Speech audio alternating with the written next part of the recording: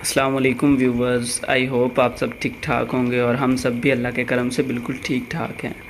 तो व्यूवर्स हम ये रेसिपीज़ इतनी मेहनत करके बनाते हैं, आप देख तो लेते हैं, लेकिन सब्सक्राइब नहीं करते। तो काइंडली हम सब्सक्राइब लाजमी किया करें और कमेंट बॉक्स में कमेंट करके बताया करें कि हमारी रेसिपी कैसी होती है।